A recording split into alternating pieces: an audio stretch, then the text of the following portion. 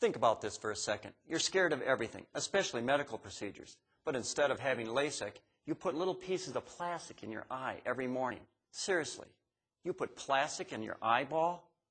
Now think of never buying contact lenses again, ever. Call Optivision at 1-800-20-HAPPY. Have LASIK, and in five minutes, eliminate years of hassle and sticking your finger in your eye. Doesn't that make more sense?